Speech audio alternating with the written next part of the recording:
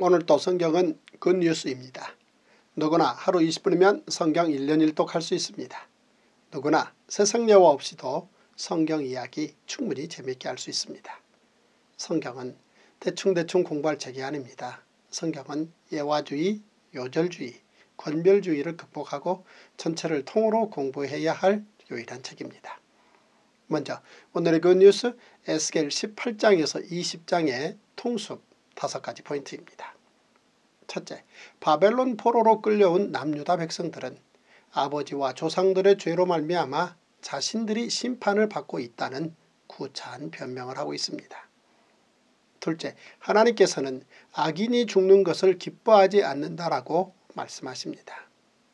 셋째, 하나님께서는 두 마리 사자 비유와 포도나무 비유를 통해 남유다의 멸망을 말씀하십니다. 넷째 하나님께서는 포로지에서 에스겔 선지자를 찾아온 장로들에게 그들의 반역의 역사를 말씀하십니다. 다섯째 하나님께서는 에스겔 선지자를 통해서도 바벨론 포로 70년 기간을 징계와 교육으로 채울 것이라고 말씀하십니다. 성경은 소리내어 읽을 만한 유일한 책입니다. 여러분들도 저와 함께 역사순 1년 1독 통독 성경으로 오늘의 굿뉴스 에스겔 18장에서 20장을 함께 소리내어 읽겠습니다. 제248일 에스겔 18장. 또 여호와의 말씀이 내게 임하여 이르시되 너희가 이스라엘 땅에 관한 속담에 이르기를 아버지가 신포도를 먹었으므로 그의 아들의 이가 시다고 하면 어찌 됨이냐? 주 여호와의 말씀이니라 내가 나의 삶을 두고 맹세하노니 너희가 이스라엘 가운데에서 다시는 이 속담을 쓰지 못하게 되리라. 모든 영혼이 다 내게 속한지라. 아버지의 영혼이 내게 속함같이 그의 아들의 영혼도 내게 속하였나니 범죄하는 그 영혼은 죽으리라.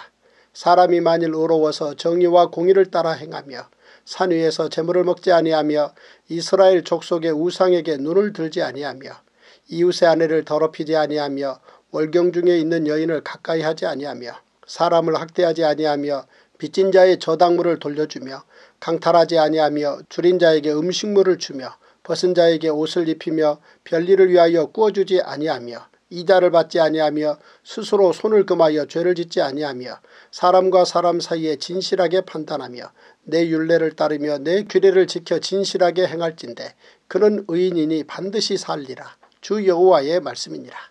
가령 그가 아들을 낳았다 하자 그 아들이 이 모든 선은 하나도 행하지 아니하고 이 죄악 중 하나를 범하여 강포하거나 살인하거나 산 위에서 재물을 먹거나 이웃의 아내를 더럽히거나 가난하고 궁핍한 자를 학대하거나 강탈하거나 빚진 자의 저당물을 돌려주지 아니하거나 우상에게 눈을 들거나 가증한 일을 행하거나 별일을 위하여 구워주거나 이자를 받거나 할진대 그가 살겠느냐 결코 살지 못하리니 이 모든 가증한 일을 행하였은즉 반드시 죽을지라 자기의 피가 자기에게로 돌아가리라. 또 가령 그가 아들을 낳았다 하자 그 아들이 그 아버지가 행한 모든 죄를 보고 두려워하여 그대로 행하지 아니하고 산 위에서 재물을 먹지도 아니하며 이스라엘 족속의 우상에게 눈을 들지도 아니하며 이웃의 아내를 더럽히지도 아니하며 사람을 학대하지도 아니하며 저당을 잡지도 아니하며 강탈하지도 아니하고 줄인 자에게 음식물을 주며 벗은 자에게 옷을 입히며 손을 금하여 가난한 자를 압제하지 아니하며 별리나 이자를 받지 아니하여 내 규례를 지키며 내 윤례를 행할진대 이 사람은 그의 아버지의 죄악으로 죽지 아니하고 반드시 살겠고 그의 아버지는 심히 포악하여 그 동족을 강탈하고 백성들 중에서 선을 행하지 아니하였으므로 그는 그의 죄악으로 죽으리라. 그런데 너희는 이르기를 아들이 어찌 아버지의 죄를 담당하지 아니하겠느냐 하는도다. 아들이 정의와 공의를 행하며 내 모든 윤례를 지켜 행하였으면 그는 반드시 살려니와 범죄하는 그 영혼은 죽을지라. 아들은 아버지의 죄악을 담당하지 아니할 것이요 아버지는 아들의 죄악을 담당하지 아니하리니 의인의 공의도 자기에게로 돌아가고 악인의 악도 자기에게로 돌아가리라. 그러나 악인이 만일 그가 행한 모든 죄에서 돌이켜 떠나 내 모든 윤례를 지키고 정의와 공의를 행하면 반드시 살고 죽지 아니할 것이라. 그 범죄한 것이 하나도 기억함이 되지 아니하리니 그가 행한 공의로 살리라.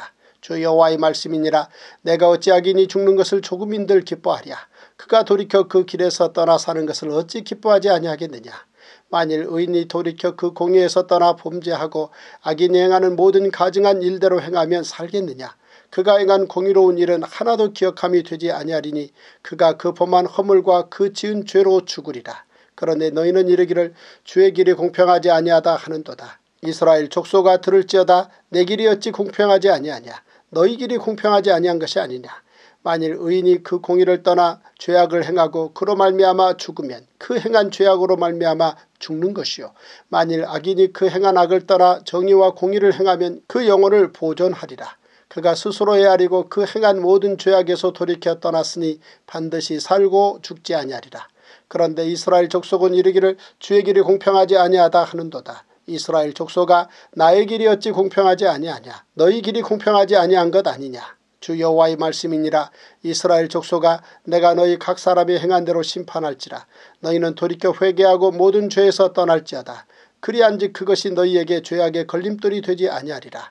너희는 너희가 범한 모든 죄악을 버리고 마음과 영을 새롭게 할지어다. 이스라엘 족속아 너희가 어찌하여 죽고자 하느냐? 주 여호와의 말씀이니라 죽을 자가 죽는 것도 내가 기뻐하지 아니하노니 너희는 스스로 돌이키고 살지니라 에스겔 19장 너는 이스라엘 고관들을 위하여 애가를 지어 부르라. 내 어머니는 무엇이냐 암사자라. 그가 사자들 가운데 엎드려 젊은 사자 중에서 그 새끼를 기르는데 그 새끼를 하나 키우매 젊은 사자가 되어 먹이물어 듣기를 배워 사람을 삼킴에 이방이 듣고 함정으로 그를 잡아 갈고리로 꿰어 끌고 애굽 땅으로 간지라.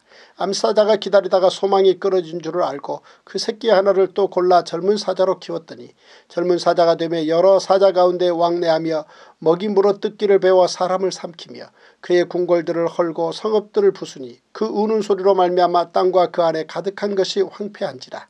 이방이 포위하고 있는 지방에서 그를 치러 와서 그의 위에 그물을 치고 함정에 잡아 우리에 놓고 갈고리를 꿰어 끌고 바벨론 왕에게 이르렀나니 그를 옥에 가두어 그 소리가 다시 이스라엘 산에 들리지 아니하게 하려 함이라.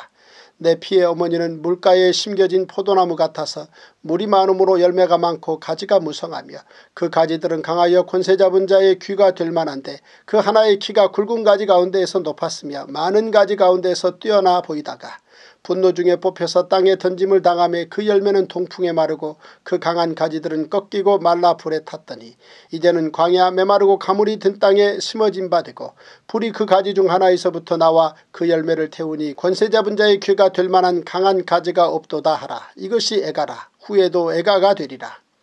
에스겔 20장 일곱째 해 다섯째 달 열째 날에 이스라엘 장로 여러 사람이 여호와께 물으려고 와서 내 앞에 앉으니 여호와의 말씀이 내게 임하여 이르시되 인자야 이스라엘 장로들에게 말하여 이르라.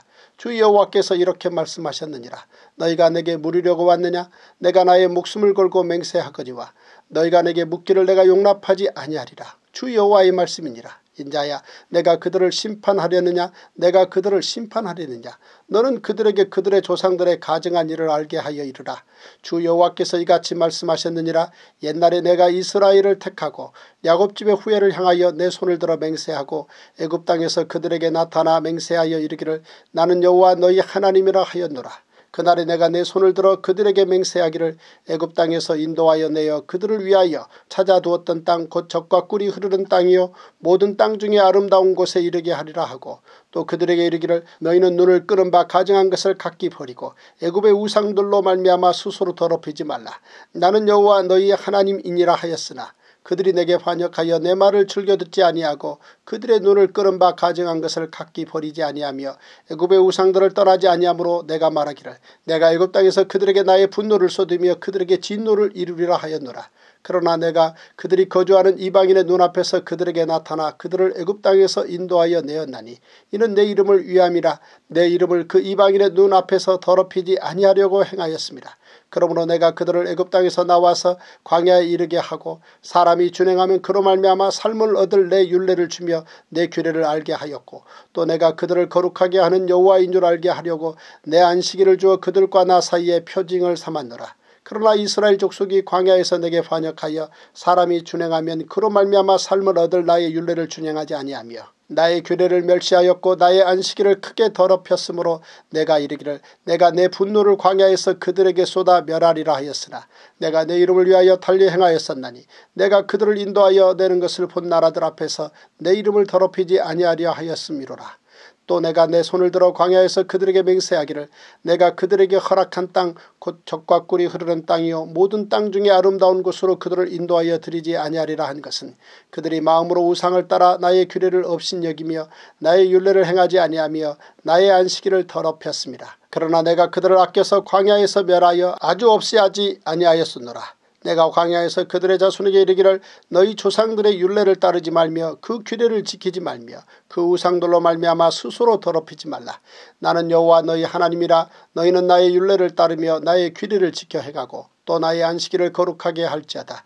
이것이 나와 너희 사이의 표징이 되어 내가 여호와 너희 하나님인 줄을 너희가 알게 하리라 하였노라. 그러나 그들의 자손이 내게 반역하여 사람이 지켜 행하면 그로 말미암아 삶을 얻을 나의 윤례를 따르지 아니하며 나의 규례를 지켜 행하지 아니하였고 나의 안식일을 더럽힌지라 이에 내가 이르기를 내가 광야에서 그들에게 내 분노를 쏟으며 그들에게 내 진노를 이루리라 하였으나 내가 내 이름을 위하여 내 손을 막아 달리 행하였나니 내가 그들을 인도하여 내는 것을 본 여러 나라 앞에서 내 이름을 더럽히지 아니하려 하였음이로라. 또 내가 내 손을 들어 광야에서 그들에게 맹세하기를 내가 그들을 이방인 중에 흩으며 여러 민족 가운데 해치리라 하였나니 이는 그들이 나의 규례를 행하지 아니하며 나의 윤례를 멸시하며 내 안식일을 더럽히고 눈으로 그들의 조상들의 우상들을 사모함이며 또 내가 그들에게 선하지 못한 윤례와 능히 지키지 못할 규례를 주었고 그들이 장자를 다 화제로 드리는 그 예물로 내가 그들을 더럽혔음은 그들을 멸망하게 하여 나를 여호와인 줄 알게 하려 하였습니다. 그런즉 인자야 이스라엘 족속에게 말하여 이르라. 주 여호와께서 이같이 말씀하셨느니라. 너희 조상들이 또 내게 범죄하여 나를 욕되게 하였느니라. 내가 내 손을 들어 그들에게 주기로 맹세한 땅으로 그들을 인도하여 드렸더니 그들이 모든 높은 산과 모든 무성한 나무를 보고 거기에서 제사를 드리고 분노하게 하는 제물을 올리며 거기서 또 분양하고 전제물을 부어 드린지라. 이에 내가 그들에게 이르기를 너희가 다니는 산당이 무엇이냐 하였노라. 그것을 오늘날까지 밤하라 일컫느니라. 그러므로 너는 이스라엘 족속에게 이르라 주 여호와께서 이같이 말씀하셨느니라. 너희가 조상들의 풍속을 따라 너희 자신을 더럽히며 그 모든 가증한 것을 따라 행음하느냐. 너희가 또 너희 아들을 화제로 삼아 불 가운데로 지나게 하며 오늘까지 너희 자신을 우상들로 말미암아 더럽히느냐. 이스라엘 족속아 너희가 내게 묻기를 내가 용납하겠느냐. 주 여호와의 말씀이니라. 내가 나의 삶을 두고 맹세하노니 너희가 내게 묻기를 내가 용납하지 아니하리라. 너희가 스스로 이르기를 우리가 이방인 곧 여러 나라 족속같이 되어서 목석을 경배하리라 하거니와 너희 마음에 품은 것을 결코 이루지 못하리라. 주 여호와의 말씀이니라. 내가 나의 삶을 두고 맹세하노니 내가 능한 손과 편팔로 분노를 쏟아 너희를 반드시 다스릴지라. 능한 손과 편팔로 분노를 쏟아 너희를 여러 나라에서 나오게 하며 너희의 흩어진 여러 지방에서 모아내고 너희를 인도하여 여러 나라 광야에 이르러 거기에서 너희를 대면하여 심판하되 내가 애굽 땅 광야에서 너희 조상들을 심판한 것 같이 너희를 심판하리라. 주 여호와의 말씀이니라 내가 너희를 막대기 아래로 지나가게 하며 언약의 줄로 매려니와 너희 가운데에서 반역하는 자와 내게 범죄하는 자를 모두 제하여 버릴지라. 그들을 그 머물러 살던 땅에서는 나오게 하여도 이스라엘 땅에는 들어가지 못하게 하리니 너희가 나는 여호와인 줄을 알리라. 주 여호와께서 이같이 말씀하셨느니라 이스라엘 족속아 너희가 내 말을 듣지 아니하려거든 가서 각각 그 우상을 섬기라. 그렇게 하려거든 이후에 다시는 너희 예물과 너희 우상들로 내 거룩한 이름을 더럽히지 말지니라. 주 여호와의 말씀이니라. 이스라엘 온 족속이 그 땅에 있어서 내 거룩한 산 곧 이스라엘의 높은 산에서 다 나를 섬기리니 거기에서 내가 그들을 기쁘게 받을지라. 거기에서 너희 예물과 너희가 드리는 첫 열매와 너희 모든 성물을 요구하리라. 내가 너희를 인도하여 여러 나라 가운데서 나오게 하고 너희가 흩어진 여러 민족 가운데에서 모아낼 때 내가 너희를 향기로 받고 내가 또 너희로 말미암아 내 거룩함을 여러 나라의 목전에서 나타낼 것이며 내가 내 손을 들어 너희 조상들에게 주기로 맹세한 땅 곧 이스라엘 땅으로 너희를 인도하여 드릴 때에 너희는 내가 여호와인 줄 알고 거기에서 너희의 길과 스스로 더럽힌 모든 행위를 기억하고 이미 행한 모든 악으로 말미암아 스스로 미워하리라. 이스라엘 족속아 내가 너희의 악한 길과 더러운 행위대로 하지 아니하고 내 이름을 위하여 행한 후에야 내가 여호와인 줄 너희가 알리라. 주 여호와의 말씀이니라. 여호와의 말씀이 또 내게 임하여 이르시되 인자야 너는 얼굴을 남으로 향하라. 남으로 향하여 소리내어 남쪽에 숲을 쳐서 예언하라. 남쪽의 숲에게 이르기를 여호와의 말씀을 들을지어다. 주 여호와께서 이같이 말씀하셨느니라. 내가 너희 가운데 불을 일으켜 모든 푸른 나무와 모든 마른 나무를 없애리니 맹렬한 불꽃이 꺼지지 아니하고 남에서 북까지 모든 얼굴이 그슬릴지라 혈기 있는 모든 자는 나 여호와가 그 불을 일으킨 줄을 알리니 그것이 꺼지지 아니하리라 하셨다 하라 하시기로 내가 이르되 아하 주 여호와여 그들이 나를 가리켜 말하기를 그는 비유로 말하는 자가 아니냐 하나이다 하니라. 오늘 우리는 에스겔 18장에서 20장을 함께 읽었습니다. 하나님께서는 두 마리 사자 비유와 포도나무 비유를 통해 남유다의 멸망을 말씀하셨습니다. 두 마리 사자는 여호아스 왕과 여호야긴 왕이고 포도나무는 남유다의 마지막 왕인 시드기야를 말합니다. 두 마리 사자 중 첫 번째 사자인 여호아스 왕에 대한 말씀은 그가 애굽왕 누구에 의해 애굽에 끌려가 그곳에서 죽는다는 것입니다. 그리고 두 번째 사자인 여우야긴 왕에 대한 말씀은 그가 바벨론으로 끌려가 감옥에 갇혔다가 37년이 지나야 풀려나게 되지만 예루살렘으로는 돌아가지 못한다는 것입니다. 오래전 하나님이 함께 하셨던 남유다는 젊은 사자와 같았습니다. 그러나 스스로 교만하고 하나님께 불순종함으로 그들은 사람들에게 붙잡힌 사자요 꺾이고 말라 불에 탄 포도나무 같은 신세가 된 것입니다. 그래서 에스겔은 남유다의 암담한 현실을 두고 애가로 표현했던 것입니다. 그러나 하나님께서는 남유다의 멸망을 선포하시면서도 이들의 회개를 기다리셨습니다. 하나님의 본심은 악인이 죽는 것을 기뻐하지 않으시고 그가 돌이켜 그 길에서 떠나 사는 것을 기뻐하시기 때문입니다. 모든 성경은 하나님의 감동으로 된 것으로 교훈과 책망과 바르게함과 의로 교육하기에 유익합니다. 성경 한 권이면 충분합니다.